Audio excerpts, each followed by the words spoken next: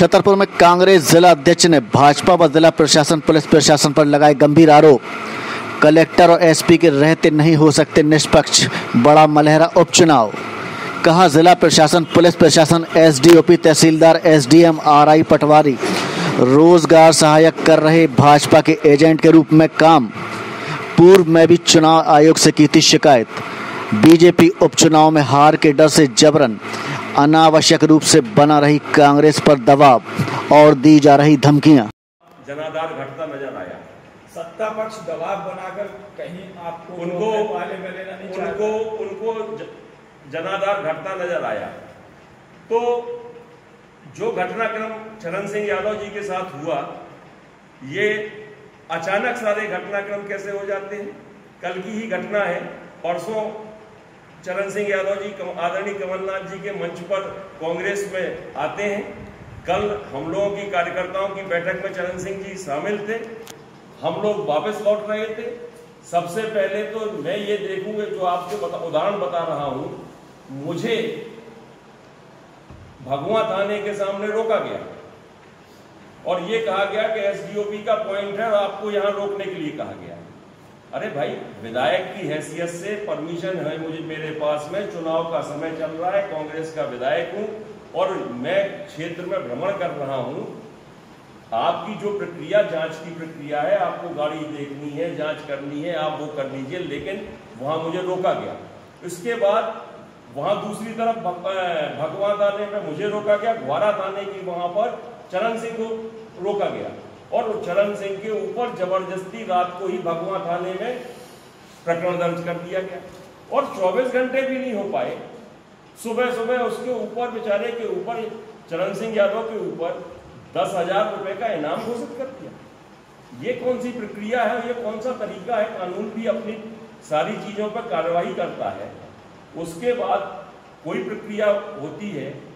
ये यादव समाज का जो हमारे क्षेत्र में बड़ा मलेरा क्षेत्र में अपमान किया जा रहा है यादव समाज के साथ में जो ये सब चल रहा है ये उचित नहीं है और चरण सिंह यादव को निश्चित रूप से न्याय मिलेगा।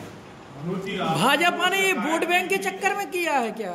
चरण सिंह यादव पर। शिकायत की थी चुनाव आयोग में कलेक्टर एसपी को हटाने के लिए उन्हें नहीं हटाया गया। अब आपका अगला स्टेप क्या? अब पुनः आयोग से शिकायत करेंगे पुनः उनको स्मरण कराएँगे कि हमने आपसे ये कहा था ये सामने जो घटनाक्रम हो रहा है इसी के कारण हो रहा है। और यदि आप नहीं हटाते हैं तो फिर निश्चित तौर से ये चुनाव प्रभावित करेंगे। एक कलेक्टर साहब कांग्रेस के कार्यकाल के आप लोगों की इस कार्यकाल से ही है यहाँ पे। क्या लगता है वो भाजपा मैंडेट की या कांग्रेस मैंडेट की? एसपी साहब भी खुले रूप से शिकायत पत्र में लिखा है। आप जाकर उसकी कॉपी हम आपको दे देंगे आप पढ़ लीजिएगा। कहीं ना कहीं ऐसा लग रहा है कि कांग्रेस चुनाव जीत रहा है जिसके कारण बौखलाहट दिखाई दे रही है। निश्चित तौर से बौखलाहट है। चार चार बार छः छः बार यहाँ पर मुख्यमंत्री जी हर जगह पर उनका बस नहीं चल रही तो पंचायत स्तर पर भी वो अपनी हेलीकॉप्टर उड़ा सकते थे।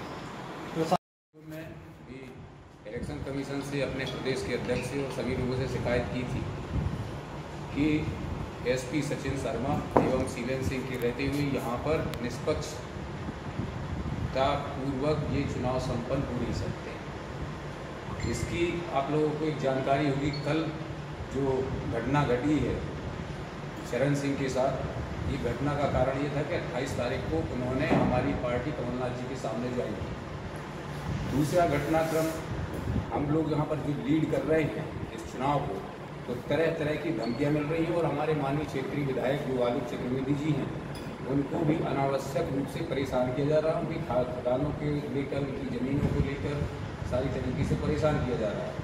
हम लोग ये सब सहने वालों में से नहीं हैं। हम इसका पुरजोर विरोध करेंगे। इलेक्शन कमीशन से अपने प्रदेश अध्यक्ष से और राष्ट्रपति महामहिम से भी हम इसकी गुजारिश करेंगे कि इनको तुरंत इधर से हटाया जाए नहीं तो ये चुनाव प्रभावित होगा कौन परेशान कर रहा है आपने कहा परेशान? प्रशासन या भाजपा? नहीं देखिए भाजपा के स- के भाजपा के कहने पर, पूर्व में हमने आज तो आप समझिए आज अट्ठाईस, उनतीस तारीख हो गई। हमने 20 दिन पहले उनको आग्रह करा था। इलेक्शन कमीशन को 20 दिन पहले हमने कहा था कि इनके रहते हुए यहाँ पर निष्पक्षता पूर्वक काम नहीं हो सकता, मतदान नहीं हो सकता है, चुनाव नहीं हो सकता है। पूरे उनके जितने भी पुलिस अधिकारी हैं, चाहे वो एस डी ओ पी हो टी आई हो सिपाही हो पूरी तरीके से भारतीय जनता पार्टी के एजेंट बन के काम कर रहे हैं चाहे वो पटवारी हो आर आई हो जो भी हैं। तो हम लोगों ने इसकी शिकायत की गई थी और हम पुनः आज एक शिकायत पत्र निर्वाचन आयोग को और अपने प्रदेश अध्यक्ष जी को प्रेषित करें चरण सिंह यादव पर किस तरह की कार्रवाई की गई है? आप देख लेना किस तरीके की कार्रवाई की गई एक दिन कहीं किसी ने कोई घटनाक्रम नहीं घटी उसके ऊपर फर्जी मुकदमे इधर पे लाद दिए गए और तुरंत उसको दस हज़ार का इनाम घोषित कर दिया गया। ऐसे दस हज़ार के इनाम घोषित जो हैं जो अपराधी हैं एस सीटर अपराधी हैं उनको संरक्षण दिया जाता है। पर एक अगले व्यक्ति को इसलिए ये प्रताड़ना मिल रही कि उसने कांग्रेस पार्टी ज्वाइन की। क्या मानते हैं इसमें भाजपा या जिला पुलिस प्रशासन इसमें वो है?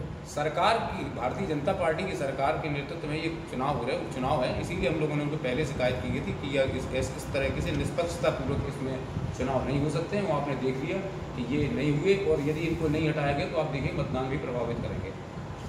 विधायक जी आ, आ, आप आपकी खदानों पर भी प्रशासन